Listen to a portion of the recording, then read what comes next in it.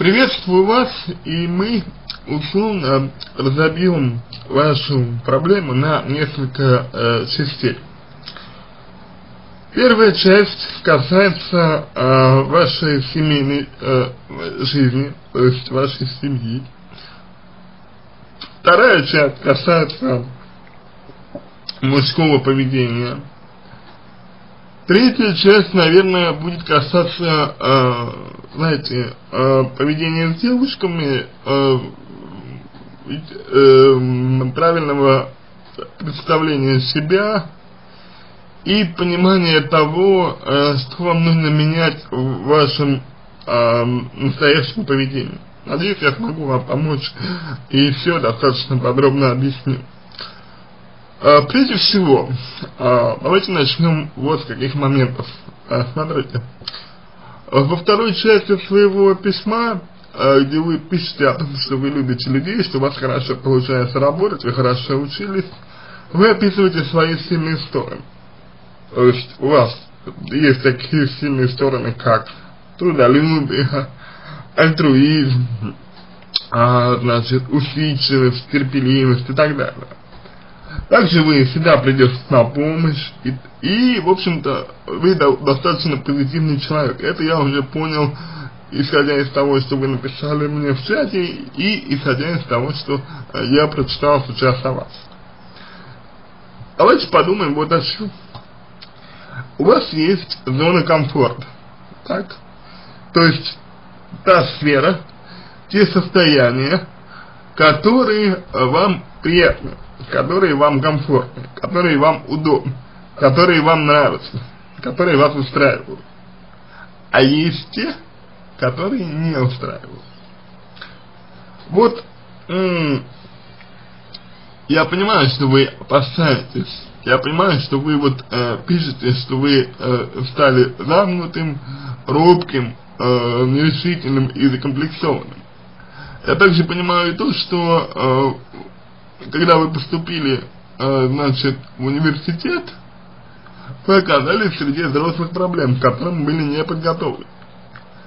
Суть этих взрослых проблем своих вы не, вы не раскрываете, но поскольку именно с них начались а, определенные проблемы а, в вашем, так сказать, жизненном пути, то было бы неплохо, если бы вы эти а, проблемы раскрыли. То есть именно первичная реакция на эти проблемы, возможно, помогла бы вам обрести понимание того, почему вы э, сталкивались с трудностями, почему вы не могли их решить, а главное, как их решить. И почему у вас, э, ну, вот сложилось такое ощущение. Тем не менее, проблемы вы не раскрываете, и я думаю, что не имею права об этом просить, я постараюсь вам помочь, исходя из того, что вы описали. Итак, начнем мы, пожалуй, э, с того, что вы э, описываете про детство, где вы воспитывались без отца, мама всегда очень берегла и опекала вас. Вот в этом, наверное, и кроется самая большая э, проблема, именно в том, что касается детства, вашего детства. С одной стороны, нет, нет отца, от, отсутствует образ мужского поведения, первичный образ мужского поведения – для ребенка, для мальчика, э, первичным образцом мужского поведения, идеалом мужского поведения всегда э, явля, явля, является отец. У вас этого не было, была мама, которая вас берегла и опекала. То есть вы очень э, сильно были с мамой близки. Ваша мама передала вам отчасти, отчасти, не только немного женственного поведения, но и отчасти она из-за своей повышенной опеки, из-за своей повышенной э, бережливости, она э, создала у вас впечатление, создала у вас впечатление, что в мире все относительно легко и просто, что в мире все безусловно, что в мире не нужно особо стараться, особо напрягаться, что в мире все идет само собой. Это э, и ввело вас в заблуждение относительно того, что с вами произошло в дальнейшем. То есть, смотрите, а ваша мама, она создала у вас одну, одну картину мира. И вы в этой картине мира, в этом представлении жили. А теперь вы, оказавшись в другой э, картине мира, в реальной картине мира, ну, столкнулись с проблемами. И этих проблем вы не ожидали. Так вот, вот я вам скажу. А, когда человек живет в мире без проблем, то есть это вот детство, это вот, собственно, то время, пока вы не были в институте, он существует. Только проблемы заставляют человека личностно расти, только проблемы э, дают человеку возможность преодолевать их, а значит развиваться, становиться лучше и так далее. То есть жизнь в своем узком смысле начинается тогда, когда человек э, э, начинает решать проблемы и испытывает физическую и э, физическую, ну, знаете, физическую боль, сказать было бы неправильно, тут скорее абстрактную боль абстрактная боль. То есть невозможность э, сделать какие-то вот вещи, невозможность э, чего-то добиться.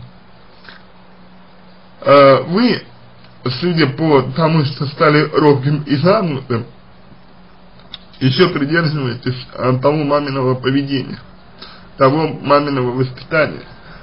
Старайтесь вернуть, наверное, ту картину мира, которую дала вам ваша мама. А, давайте а, мы немножечко скажем про нее, хотя вы говорите, о ней совсем чуть-чуть. А, давайте мы скажем о ней а, так. Ваша мама очень сильно вами дорожила, она боялась, вероятно, что с вами что-то случилось.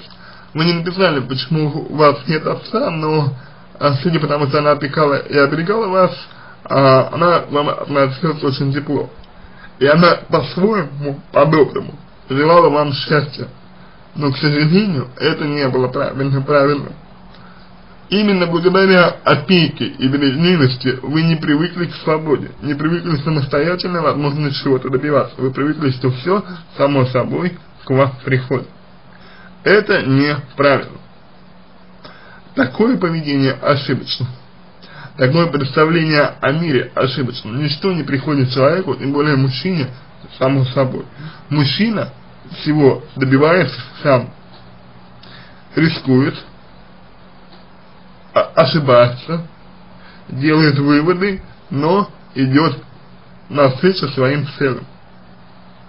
Это то, что касается детства. Еще раз повторю, ага, проблему вы относительно вот эм, как бы переломного момента вы не раскрываете, вы просто пишете, что попали в новую среду, где взрослая жизнь, которая, по сути, не принесла мне э, взрослых радости, а принесла только взрослые трудности и проблемы, к которым мы, к которым мы были не готовы. И вы не адаптировались э, к ним, к этим проблемам. Вы стали занятым, робким и нерешительным. То есть у вас нет внутреннего стержня к тому, чтобы эти проблемы преодолевать. А, и здесь возникает главный вопрос. Вы эти свои проблемы считаете, а, ну, имеющими право на существование или нет? Если те проблемы, которые с вами возникли, вы считаете справедливыми, а вам нужно так думать, вам нужно понять, что это проблемы нормальные, это проблемы естественные, что они есть у всех, у каждого, просто каждый по-своему с ними справляется, то если вы признаете право существования этих проблем, то вы поймете, что как раз таки, раз проблемы-то естественные, то ваше поведение таковым не является. Ну, не естественно реагировать на какие-то явления, социальные явления, а все социальные явления могут быть естественными и могут быть аномальными. То, что ваши э, проблемы, они являются естественными, они не являются аномальными, потому что аномальные чуть другие проблемы, а, а вот ваше поведение является аномальным. Значит, вам нужно менять свое поведение. Но как его изменить, спросите вы, если я не готов а, к тому, чтобы э, ну, я оказался не готов к этим вот проблемам. Эм, у вас э, есть запрос стать более мужественным. И этот запрос, он решается достаточно, ну, знаете как, индивидуально у каждого человека. Вот вы говорите, что я стал замкнутым, робким, э, нерешительным и закомплексованным. Замкнутость. Это значит невозможность общаться с другими людьми. Робкость. Это значит э, неумение, неуверенность в том, что то, что интересно вам, то, что важно вам, интересно другим людям. Нерешительность – это, по сути, тот же страх, а закомплексованность – это, ну, э, очень сложное слово, я бы его опустил и оставил только эти три а, слова. Значит, первое, с чего нужно э, вам начать, говоря о мужественности, значит, э, это то, что вам необходимо выделить для себя образец мужского поведения. У вас этого образца не было, была мама, и маме, естественно, ну, мама, она как женщина старалась дать вам все. Она и привила вам определенную мягкость, она привила вам определенную, определенный альтруизм, и это в какой-то степени хорошо, но в какой-то степени плохо. Об этом мы еще чуть-чуть поговорим, а пока давайте скажем так. Чтобы стать мужественным, вот именно, а, так сказать, создать площадку для этого, основу, фундамент, фундамент мужественности, нужно в первую очередь получить вам образец мужского поведения. И поскольку отца у вас не было отцовскую модель поведения, вы никак не а, вы никак не можете на себя взять, то выберите тот образец мужского поведения, который вас привлекает. Ну, например, пусть это будет какой-нибудь киногерой, пусть это будет э, кто-нибудь еще, пусть это будет какой-нибудь э, спортсмен, спортсмен и так далее. И вот посмотрите на этого человека, э, изучите его интервью, его поведение, его поступки и начинайте придерживаться этого. Всего того, что он, этот человек делает. А, например, если это спортсмен, то он упорно идет к своей цели, там не смотрит на осуждение и так далее, и так далее, и так далее. Это первый важный момент. А, первый важный момент – это проработка образа вашего мужского поведения. Вот в зависимости от того, какой образ вы выберете, какой образ вам больше по душе, кем вы хотите себя видеть, а, это и будет началом. А дальше вам нужно просто э, начинать двигаться э, к тому, чтобы быть похожим на, э, на э, вот тот образ, который вы выбрали. И э, вы будете переним, перенимать привычки, вы будете принимать, э, перенимать поведенческие модели этого образа, и вы будете им следовать. Но в определенный момент вы почувствуете внутри себя какой конфликт? Вы э, окажетесь перед э, таким выбором. Вот вроде бы, исходя из образа поступить, вам нужно так, ну, как-то. А вам не, не нравится, ну, не нравится вам то, как э, э вам нужно поступить. И вы поступаете уже по-своему. То есть вы э, преобразуете образ. И это уже другая ступень, это уже более высшая ступень, э, так сказать, вхождения в образ. И это значит, что вы уже вышли из образа и начали э, приносить в него что-то самобытное. То есть стали образовывать свой собственный индивидуальный стиль мужского поведения. Но для того, чтобы он появился, нужна какая-то основа. Именно основа и является какой-то перенятый вами образец поведения. Дальше. Э, следующий важный момент, который касается уже э, чисто вот уверенности в себе. Значит, а, понимаете, как, как, какой, какая проблема? А, уверенность в себе, она достигается а, несколькими моментами. Первый момент – это повышение а, кругозора. То есть, вам нужно общаться с людьми, вам нужно быть интересным в общении с людьми, а для этого вам нужно знать, ну, желательно быть уверенным в том, что вот то, что вы пишете, то, что вы говорите, то, что вы делаете, то, что вы, например, не знаю, шутите или что-то рассказываете, интересно другим людям. И для этого вам нужно действовать в двух направлениях. Первое. Это решает свой собственный кругозор. То есть что-то изучать, что-то познавать, чтобы э, иметь возможность как можно большое количество э, тем для разговора охватить. Ну, например, поговорить о технике, о компьютерах, о природе, о науке, о философии, о чем-то еще и так далее. О политике. Вот.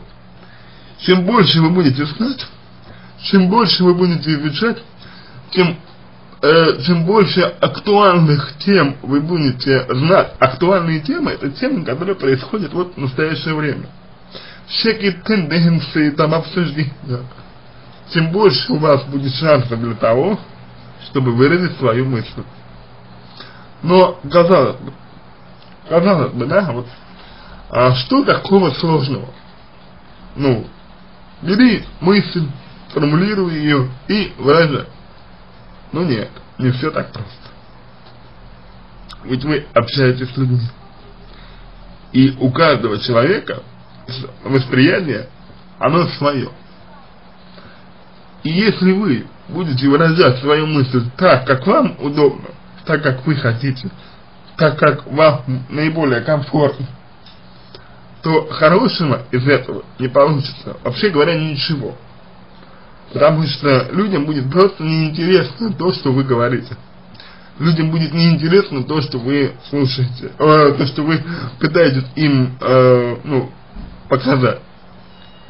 Прежде чем, прежде чем делать это, прежде чем начинать, начинать разговаривать, посмотрите, что интересно другому человеку. Интересуйтесь тем, что интересно другому человеку. Вообще говоря, задавайте вопрос. Вот знаете, а задать вопрос это универсальное средство для любого общения. Когда-то давно э, ваш покорный слуга э, очень тяжело знакомился с людьми. с людьми. Прошу прощения, э, у нас довольно жарко, поэтому в горле пересекает. А, значит, тяжело знакомиться с людьми. Я действительно а, думал, что вот как узнать, что человеку интересно. Как узнать? И вы знаете, на помощь пришло это универсальное средство, средство вопроса. То есть вопрос, вы задаете вопрос, вы показываете, что вы нуждаетесь в знаниях человека, вы показываете, что вы нуждаетесь в том, чтобы человек вам что-то объяснил, что-то показал, потому что вас это интересует, вы спрашиваете у него. И вы задаете этот вопрос раз за разом, раз за разом. И вы знаете, человека, ну, разные вопросы, конечно. И вы знаете, человеку льстит, когда его о чем-то спрашивают. Это, знаете ли, э, существенно повышает собственную значимость. Ну вот только представьте. Вот вы, например, э, знаете, допустим, ту сферу, где вы работаете. Вот представьте, что какая-то девушка, например, какая-то девушка, она начинает у вас спрашивать,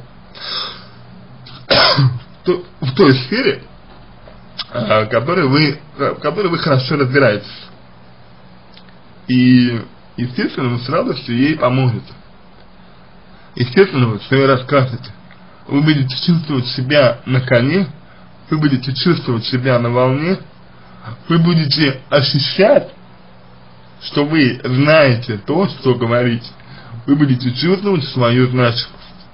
Вот именно это чувство, ну вот вы представьте его себе сперва, именно это чувство нужно вызвать у другого человека, спрашивая у него о том, чего, что, в чем он хорошо разбирается, или что его интересует. И в процессе э, этих ответов, в процессе ответов на ваши вопросы, вы будете узнавать, что человеку интересно, что его волнует, что, э, э, что ему не нравится, что ему нравится, в чем, в чем он хочет там, углубленные знания иметь, в чем нет. И вы будете также постепенно узнавать, что человеку смешно, что человеку не смешно, что человеку там приятно, что неприятно.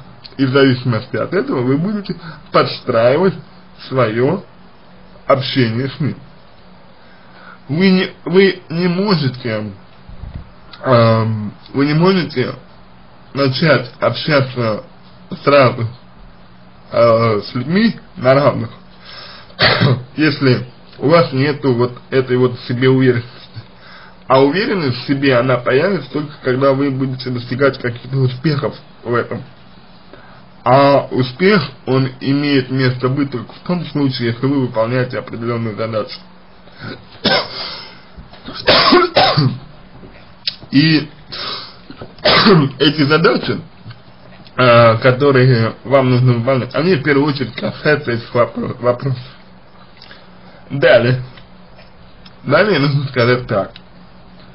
Когда вы э, приспосабливаетесь к общению, то есть как, как именно вы приспосабливаетесь к общению, вы спрашиваете, узнаете, э, узнаете, что человеку нравится, узнаете самого человека и так далее, все это происходит, а потом, потом постепенно вы понимаете, что вот здесь можно сказать что-то что, -то, так, здесь можно сказать что-то так, а здесь дай-ка я попробую сказать вот так, то есть вы будете пробовать, ошибаться, и видеть, что что-то человеку не нравится, но именно так люди учатся общаться.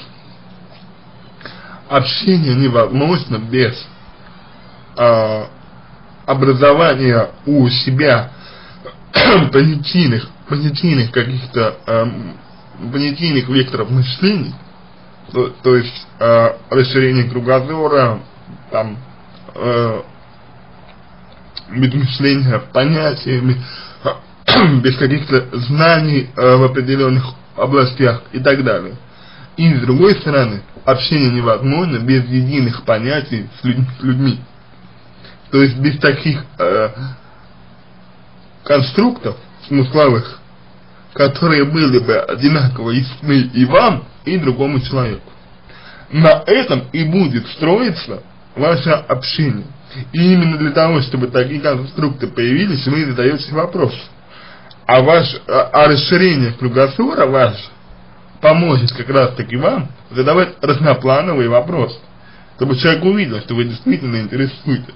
Чтобы человек ощутил, что он действительно рассказывает вам что-то.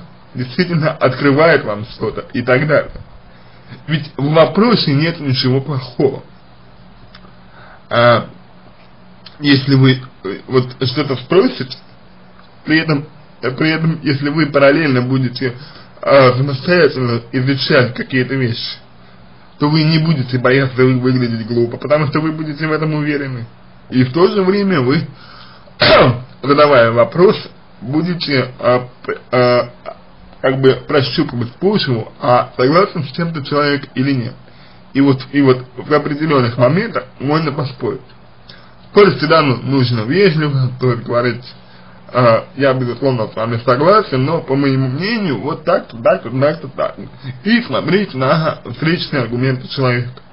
Если аргументы человека э, смысловые, понятийные, то можно дискутировать. Если вы видите, что человек начинает переходить на личность, значит он, скорее всего, не уверен и не заинтересован в том, чтобы э, с вами общаться именно вот э, в том контексте, что он э, может быть чем-то неправ. Ну, так, такие люди. Это неуверенные в себе люди, и э, оставим их э, со своей неуверенностью наедине. Вам самое главное, вот этот принцип понять, что далеко не все люди будут переходить на личность, далеко не все люди будут общаться с вами только в контексте «я всегда прав, а ты никогда», и рано или поздно вы, благодаря такому построению общения, вы найдете э, тех людей, которые будут, ну, собственно говоря, э, в большей степени пользоваться примерами и в большей степени либеральными во взглядах на мнение относительно каких-то вещей. То есть, я надеюсь, здесь понятно, э, понятный элемент. Повышение собственного кругозора. Чем разнообразнее кругозор, тем лучше. А, вопросы. А, можете даже написать список вопросов, чтобы прям вот, ну, не сбиваться поначалу, если вы испытываете неуверенность. Но эти вопросы ну, ну, нужно задавать. Желательно, чтобы эти вопросы были интересны и вам тоже, чтобы человек видел живой интерес. А, далее. Делаем скидку и изучаем самого человека. Что ему интересно, а что нет. Его реакцию негативную на вас, какую бы то ни было. Вот вы пишете, что вы столкнулись с проблемами, что вы стали робким, намнутым и так далее.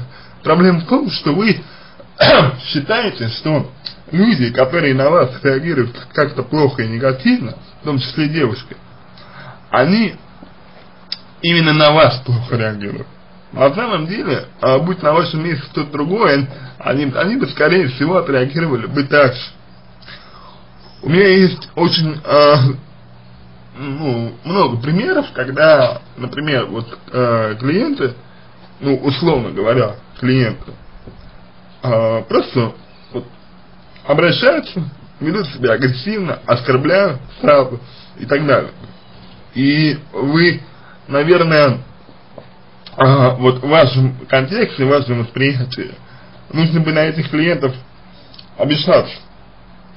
То есть думать, вот, действительно я там не профессионал, действительно у меня там проблемы и так далее. Дело не в этом. Понятно, что всегда есть куда расти. И мы постоянно растем. Но дело в том, что человек, который сразу относится к вам неуважительно, вот так сходу, это человек, человек, у которого есть внутренний дефицит чего-либо. Это неудовлетворенный человек. Человек, который без основания относится к вам негативно, это человек, который на вас проецирует свои проблемы. И вы здесь абсолютно не при чем. Вы этому человеку ничего плохого не сделали.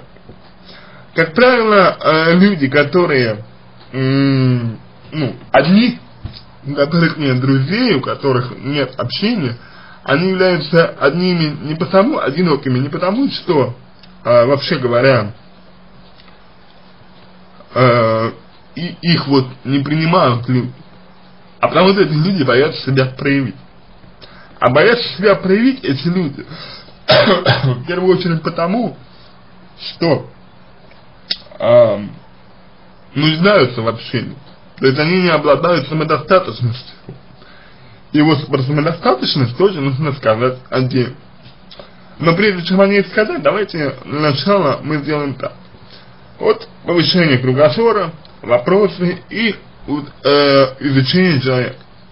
Внимательно смотрите, что человеку нравится в процессе, в процессе вопросов. Потому что одни вопросы порождают другие вопросы, вопросы порождают какие-то мысли, вы эти мысли высказываете. То есть здесь все, в принципе, достаточно, эм, ну, как бы естественно происходит. Если вы э, не можете высказывать мысли, ничего страшного, а продолжайте задавать вопросы и так далее. Но если вы э, будете действительно спрашивать у кого-то что-то, то вам лучше, э, если вы будете писать эти вопросы на листке бумаги, то вам нужно в первую очередь э, писать суть вопроса, а форму вопроса придумывать на ходу. Ну, то есть э, э, импровизировать. Потому что если вы будете задавать вопросы э, по заранее заученной форме, то тон ваш, э, ваша интонация будет меняться. Она всегда меняется, когда человек произносит что-то заучено. Это не есть хорошо для, для живого диалога. Надеюсь, эти, эти моменты ясны, ясны, ясны. Дальше. Теперь, что касается недостаточности. Вы, наверное, слышали э, такую фразу, что вот чем сильнее хочется любви, э, тем чем сильнее любовь эту ищешь, тем э, как бы дальше она от тебя. Э, эта э, фраза, она передает не только парадокс любви, но она передает и вообще парадокс э, всего того, чего, чего человек хочет. Как правило, люди получают что-то, что нужно им, только тогда и только в том случае, если они в этом не нуждаются. Вы пишете, что вы хотите общаться, э, хотите вли, э, ну, общение в личной жизни и общение с девушкой. Давайте зададим себе такой вопрос. Для чего вам это нужно? Наверное, для уверенности в себе. Наверное, для ощущения себя полноценным. Так вот, описанный мной метод даст вам точно э, те же самые ощущения, то есть полноценность там и так далее, но только без зависимости от людей. Вам нужно, для, повышая свой кругозор, понимать, что вы сами наедине себя другими прекрасно чувствуете. Вам нужно перестать считать, что вам нужны, нужны другие люди. Для того обязательно, да, общение с девушками это безусловно нужно, общение с друзьями это безусловно нужно, но если их нет, если этого общения нет, это не конец света. Вам нужно знать, что вы успешный, что вы полноценный, что вы идете к своим каким-то целям, а люди, если захотят эти цели с вами разделить, это их выбор. Если не, не, не хотят, это и, точно их выбор. И к этому выбору нужно относиться спокойно. Но для этого необходимо, а, для этого необходимо вам а, быть уверенным в себе и не испытывать потребность в других людях для удовлетворения каких-то своих, ага, именно вот своих личных желаний. То есть, я понимаю, что вам нужна девушка.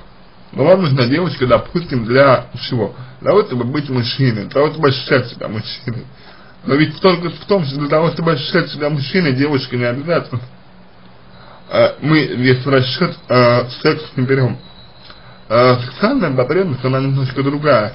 И мне бы не хотелось о ней говорить, потому что я не, сексолог, и здесь очень легко травмировать э, человека, поэтому если попросите, если у вас будет желание еще поработать, то можно эту тему раскрыть, но пока об этом я говорить не буду. Хочу сказать только то, что мужчинам можно чувствовать себя и без женщин. Как? Ставя себе задачи и эти задачи выполняя. Ставя себе цель и эти цели выполняя. Как нужно ставить себе правильно цели, как нужно правильно ставить себе задачи. Пожалуй, об этом я э, тоже хотел бы вам сказать.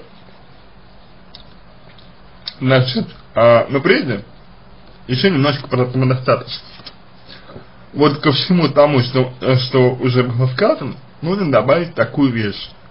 Смотрите, есть одиночество. Это когда человек вынужденно одинок. Он не хочет, он хочет общения, но он одинок он все равно не получает того, что хочет. Одиночество заставляет нас ощущать болезненную потребность в общении с другими людьми. И чем она болезненнее, тем хуже у нас получается. Потому что другим людям не нужен человек, который за счет них пытается удовлетворить свои потребности. Другим людям нужен э, равный, нужен интересный, нужен самодостаточный собеседник. И это значит, что вам нужно в первую очередь избавляться от болезненной потребности в общении с людьми, если таковая есть. Болезненная потребность с людьми а, убирается через личностный рост. Личностный рост осуществляется через представление себя, именно себя, в том виде, в, котором, в каком вы есть сейчас, и представление себя идеальным. Вот какой вы идеальный. Здесь и мужской образ, здесь и все достижения, которые вы хотите и так далее. И вот расстояние между вами настоящим и вами идеальным, и, и вами идеальным, и есть пространство, простор для личностного роста. Именно им вам нужно заниматься. Именно в этом направлении вам нужно двигаться. Будете личностно расти, будете снижать э, в себе потребность в, общи, в общении с другими людьми. И тогда будете выступать с ними на равных. Теперь, что касается задач. Ага, как вы, наверное, уже поняли, основная, ну, одно из основных средств борьбы с комплексами, с неуверенностью в себе, это постановка четких целей и выполнение этих целей. И главная ошибка, которую допускают здесь люди, заключается в том, что люди ставят себе конечные, отдаленные цели, и эти цели пытаются выполнить. А в действительности это ошибка, потому что отдаленные э, конечные цели выполнить нельзя сразу. Но люди пытаются, они стараются, они понимают, что эта цель далеко, и, и тем самым у них ничего не получается. Они разочаровываются и еще больше э, погружаются там в жалость к себе и во что-то другое. Вот, чтобы такого не было, нужна цель, конечно, цель, разбить на задачи. То есть на такие промежуточные цели, промежуточные э, такие, э, ну, да, э, моменты, пункты, которые нужно достичь для того, чтобы в итоге прийти к конечной цели. И внимание свое заострять не на конечной цели, а на самой приближенной, близкой задаче. Например, одно из средств для повышения уверенности в себе является э, физическая подготовка, занятия спортом. И для того, чтобы заниматься спортом, ну вы ничего не писали про спорт, поэтому я привел этот пример, того, чтобы заниматься спортом, нужна не только физическая подготовка и тренировка, нужна еще и одежда, нужна еще и соответствующие, нужны еще и соответствующие технические средства и так далее. Так вот, ваша первая задача, первичная задача, заключается в том, например, чтобы пойти в магазин и купить кроссовки. Следующая ваша задача в том, чтобы купить одежду, там, если требуются какие-то средства, и далее начать тренировки. Тренировки, при тренировках нужны соответствующие условия. То есть, мотивация и понимание, для чего это требуется. Соответствующие средства. Средства – это ваши физические возможности на данный момент. То есть, это означает, что вы не можете тренироваться больше, чем позволяет ваше физическое состояние. Если вы будете делать это а, больше, а, то если вы будете делать это через силу, то вы можете себе навредить. И такой принцип, то есть принцип анализа условий выполнения задач, анализ требований к выполнению задач, а требования это понятно какие, требования это извне, требования это как раз таки, э, ну, как бы предъявляемые вам извне э, каким-то вот, знаете, планки. То есть вам предъявили планку, вот нужно там добиться вот этого. Вы понимаете, о каких условиях я должен работать, а какие у меня средства есть для выполнения этих работ. И вот каждую задачу, которую вы будете выполнять на пути к своей цели, вам нужно решать именно в таком контексте. Анализировать цели, средства и усл... э, нет, э, требования, условия и средства выполнения задач. И тогда вы будете действовать всегда в рамках своих возможностей. и не будете рвать жилы, не будете там себя ломать как-то и так далее. И это, пожалуй, очень важный момент, который, ну, просто-напросто необходимо, ну, вам очень хорошо обдумать. Теперь, что касается девушек. Опять, опять-таки, вы никогда не были с девушкой. И э, как специалист, я должен сразу предупредить вас о том, что если у вас имеется сексуальная неудовлетворенность, то ее лучше разрешать, э, дабы она не влияла на ваше поведение и на ваше взаимодействие с девушкой. Я верю, что вы очень культурный человек и никогда такого ничего себе не позволите в отношении девушки, но тем не менее. Тем не менее. Такое предупреждение я должен сделать. Теперь, что касается самих девушек. В первую очередь хочется сказать так. Если общение мужчины и женщины начинается того, что они уже на первичных этапах видят друг друга как представителей пола, то ничего хорошего из этих отношений не выйдет.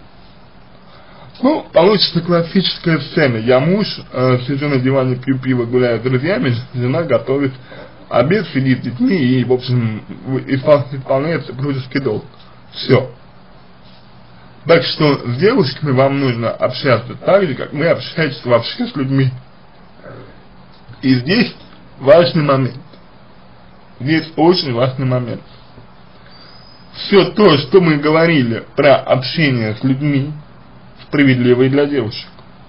Потому что общение с адекватными взрослыми женщинами ведется именно так. Сперва как общечеловеческое взаимодействие, без половых каких-то признаков. И вы точно так же можете воспринимать э, общение с ними как, как э, аналогично, что я описываю. Если вы стесняетесь спрашивать именно у девушек, давайте зададим себе вопрос. Почему? Вы считаете, что девушка посмотрит как-то на вас плохо, она посчитает вас глупым. Человек, который спрашивает, те, которые что-то спрашивают, которые чем-то интересуются, это не глупый человек. Это человек, жаждущий знаний. Глупец тот, кто, кто не зная, не зная чего-то, уверен в том, что это есть так. Вот это глупый человек.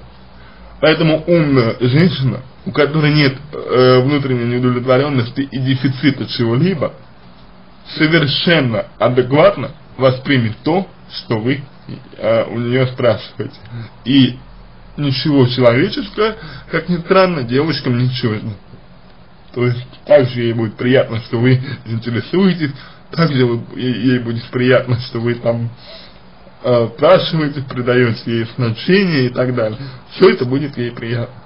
И вот вам важно завязать с девушкой такой вот общий, общечеловеческий диалог. И все то же самое, что, что мы говорили перед этим, все это актуально для нее. Только в определенный момент э, вы можете попробовать сблизиться. То есть, э, сказать, например, мне интересно с тобой общаться, мне интересно с тобой находиться, мне интересно там, с тобой еще как-то быть и так далее. И посмотреть на ее реакцию и ни в коем случае не принимать ее отрицательную реакцию на себя. То есть, если вы ничего плохого не делали, девушки, если вы вели себя э, правильно, если вы вели себя культурно, выдержанно, то э, девушка вам ничего плохого не скажет. А если скажет, значит это ее проблема, а не ваша. Но нужно понимать, что девушка не любит э, самокопающихся мужчин, девушка не любит неуверенных в себе мужчин, и девушки любят тех мужчин, которые рискуют. И, и а, прежде чем говорить про риск, а, прежде чем говорить про упорство, я хотел бы вам сказать так. Для начала вам нужно понять, что девушка, женщина, может дать вам как женщина. Что вы хотите от нее получить, как от женщины. Что вам нужно? Вот это говорит, мне от женщины нужна там ласка, забота, тепло, нежность, там, любовь и так далее. Кто-то говорит, что мне нужна поддержка там и так далее. Что вам нужно? Вот критерий. Критерий женщины, который вам нужен. Дальше. Что вы можете дать ей как мужчина. И здесь, здесь как раз таки очень здорово поможет тот самый мужской образ, о котором мы с вами говорим. В зависимости от него вы сможете идентифицировать себя с ним и сказать, что я могу девочке дать то-то, то-то, то-то, то-то. Вот. Далее. Когда у вас будет реальная девушка, когда вы вот не начнете общаться, спросите себя, что из того, что вы хотите получать от женщины, может дать вам это, э, эта женщина. И покажите ей, что вы можете дать ей то, что вы можете ей дать. Ну, то есть, например, надежность, поддержку, помощь и так далее. Если женщине это нужно, если это нужно ей от мужчины, то она при, примет это от вас и будет за вас держаться. И именно так начнутся ваши отношения. Если ей это не нужно, ну что ж, это не ваша вина, у, у всех девушек разные потребности, как и у всех мужчин, и вам просто нужно искать другую девушку, которая оценит то, что вы можете дать ей как мужчина, и примет это. Теперь, что касается риска. А, понимаете, расширять границы своего сознания и восприятия нужно. Понимаете, если человек вот хочет чего-то сделать, хочет чего-то сделать, но боится. По какой-то причине он боится чего-то сделать. Вот, например, вы видите девушку, которая вам нравится, и вы боитесь к ней подойти. Вы к ней не подходите, и в итоге происходит что? В итоге происходит, что вы упускаете момент. Вы же потом об этом жалеете, правильно? Правильно. Вы жалеете, потому что вы никогда не узнали бы, что бы было, если бы подошли. Получается, что вы постоянно в голове результат прорабатывается. Вы думаете, а что бы было, если бы я подошел, а что бы там произошло, а вдруг, а вдруг, а вдруг, а вдруг. Это называется самокопание. Но по сути, что вы делаете? Вы играете в иллюзию здесь. Вы рискните, вы не будете получить отрицательный результат. Отрицательный результат – это тоже результат, это следствие ваших действий. Пока вы не получите хоть какой-то результат, вы не будете знать, правильно вы поступаете или нет. А не будете знать, правильно вы поступаете или нет, вы не сможете развиваться. Допустим, подошли, к девочке и сразу пошутили. Она вам сказала, ну, в общем, ты какой-то там вообще глупый человек вы, да, вы можете ей в ответ совершенно спокойно сказать, ну ты знаешь, ты тоже умом не блещешь. И это будет справедливо, потому что умный человек никогда не скажет так, как скажет вам девушка. Если вы пошутили, девушка засмеялась, например, не засмеялась явно фальшиво, значит человек вежливый, хочет вам показать, что понял, понял, что вы шутите, но э, шутка ваша, например, не удалась. Этот человек смотрит в корень корень видит смысл, и, и с таким человеком может быть лучше не шутить, а говорить, говорить серьезно. То есть из любого отрицательного результата можно сделать определенный вывод и скорректировать свое поведение. Не делая же ничего, боясь, не рискуя, вы не получаете ничего, кроме, кроме пустоты. А пустота затягивает и растворяется в своей невесомости, неуверенности и как бы вакууме. А это самое страшное. По крайней мере, вы, я думаю, это поняли прекрасно. Вот этот, этот момент нужно вам обязательно э, учесть. Этот момент вам нужно обязательно учесть, что риск оправдан. Кто не рискует, не бьет шампанского, вы, наверное, слышали. Так вот, нужно рисковать. Ну, естественно, так, чтобы это не было угрозы для вашей жизни и поверьте мне, это девушка оценит. Если она хороший человек, если она достойный человек. Дальше. Следующий важный момент. момент. А, мужчина ценится не по словам, мужчина ценится по делам. Поэтому вам э, совершенно спокойно можно э, действовать в таком ключе. Вот начали о чем-то говорить с девушкой, да, начали о чем-то с ней говорить. Выяснили, что ей что-то нужно, сказали, я это сделаю тебе. И обязательно это сделать. Потому что женщина, слова, мужчи, э, слова мужчины, то есть это женщины зрелые, э, самостоятельные, состоявшиеся, они словам, словам мужчины значения особо не придают. А вот действиям очень да. И слова это что, что такое слова? По большому счету. Слова это пустой звук. И мои слова это пустой звук.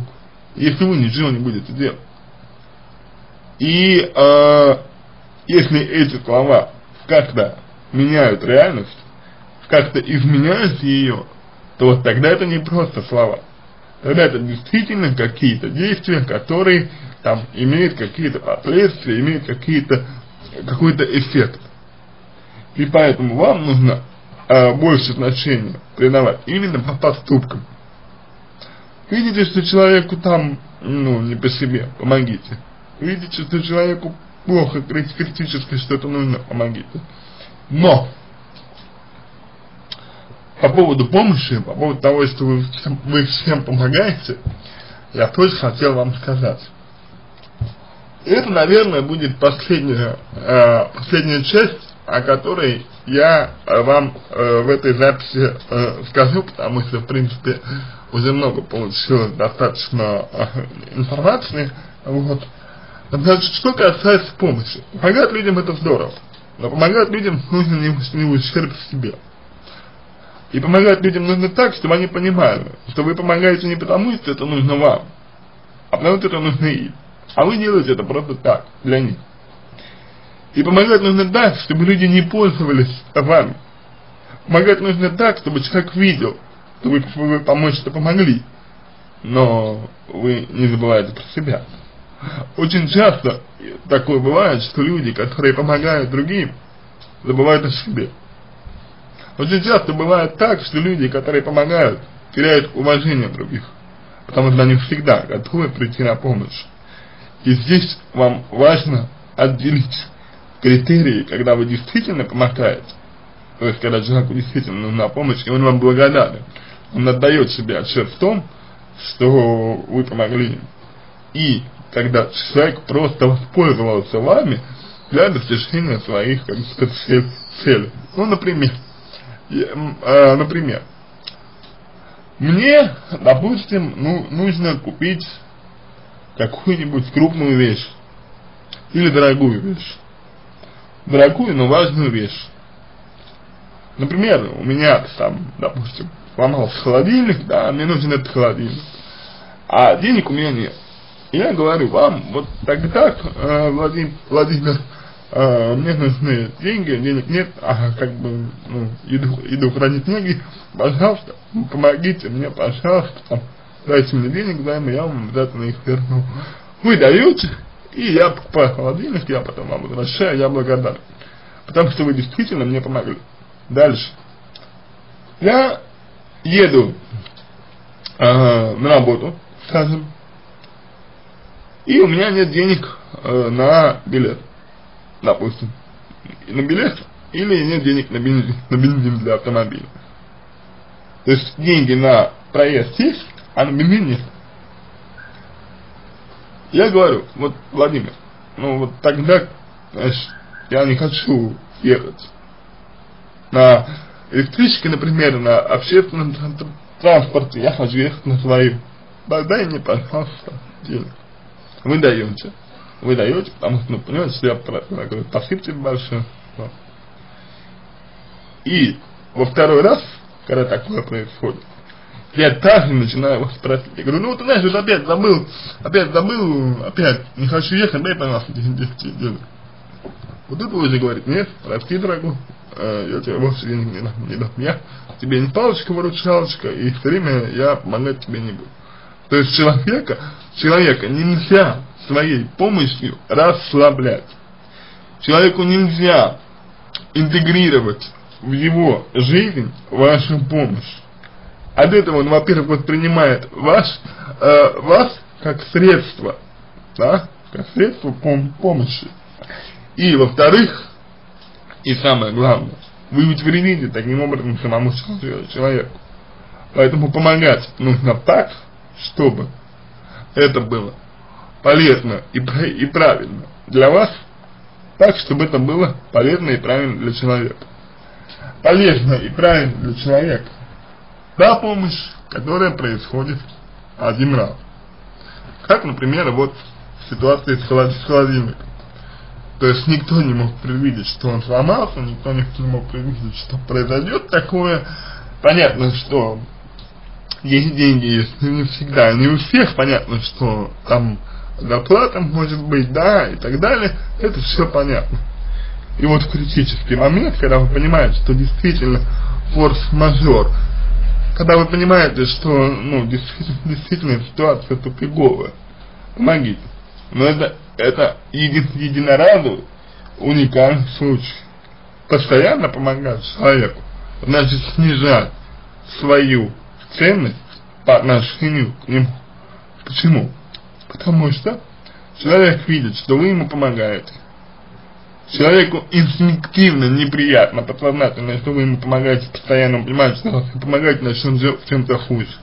Но он начинает оправдывать себя, он начинает говорить, что, ну, сам себе, даже не говорить, а это происходит на уровне подсознания. Он э, убеждает себя в том, что эта помощь нужна в большей степени вам, и это вы хотите, он убеждает себя, что он прекрасно без этого проживет, просто вы, вот вам нужно э, помочь, да, э, вы хотите помочь, ну все, если хотите помочь, значит, значит почему бы и нет и человек принимает помощь. И он не замечает, как сам к, этому привыкает. Но по-прежнему уверен в том, что э, вы ему помогаете по своей воле, а человек, в общем-то, не нуждается в этом. И он уже считает это само собой разумеющимся, он привыкает к этому. А привыкать к помощи, это очень плохо. Я надеюсь, я поня понятно объяснил, э, по каким э, причинам это плохо. Итак, э, в принципе, в принципе, э, все вопросы я у вас рассмотрел. На, на, на самом деле. Конечно, э, как бы я дал лишь самые общие вам направления. Я думаю, что вы можете э, спокойно, совершенно вы человек умный, это я понял, э, очень, очень хорошо, грамотно выражаете свои мысли, э, прям приятно читать вас, это, знаете ли, здорово. А вот вы, наверное, заметили, что я пишу, в отличие от вас, не очень грамотно, без знаков препинания, без заглавных букв. Вот. Тем не менее, я хочу сказать вам следующее что вы сами, благодаря силе своего интеллекта, способны э, решить свою проблему. Если потребуется еще помощь, если вы пожелаете моей помощи, я вам радости еще в чем-нибудь помогу. Я думаю, что это уже будет более э, конкретные элементы, в которых вам потребуется, ну, например, разъяснение. Если так, то, пожалуйста. Э, скажу вам честно, я не ставил перед собой задачу э, растянуть консультации на будущее, я никогда не, став, не ставлю таких целей себе, э, не ставлю цели заработать э, с людьми больше, чем ну, чем это необходимо, потому что важно, чтобы помощь была для вас именно важна, именно ценна, а не так, знаете, тоже вот привычка к помощи, вот. И, собственно говоря, э, напоследок, напоследок, что мне хотелось вам э, еще сказать. У интеллекта есть две характеристики. ассимиляция и аккомодация. Про это мы, в принципе, сегодня очень много говорим, но понятия этого у вас, наверное, не было.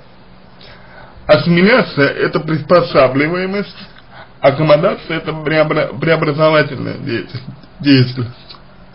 Так вот, сперва всегда идет приспосабливаемость, то есть адаптация к окружающим условиям, к окружающей ситуации и так далее.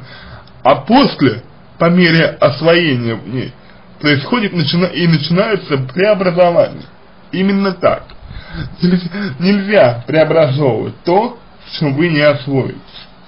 Освоение всегда проще, освоение всегда более механистично, тогда как преобразование это всегда творческий процесс.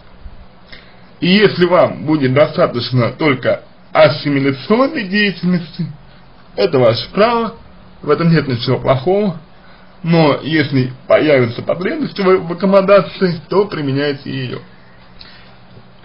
И э, прежде чем закончить, хотел бы вам сказать, старайтесь доверять в большей степени своим переживаниям, чувствам и эмоциям. Они не, не подведут. И если вы будете им доверять, э, вы будете поступать так, как вы считаете правильно, более самобытно. И поверьте мне, за это люди вас будут еще больше уважать. Люди нормальные, люди образованные, интеллектуальные, интеллигентные. Ну а глупые, завистливые, дефицитные люди, о которых мы говорили, они в любом случае будут вас презирать. Ну, вам необходимо отсеивать тех, кто вам не подходит что вызывает у вас антипатию.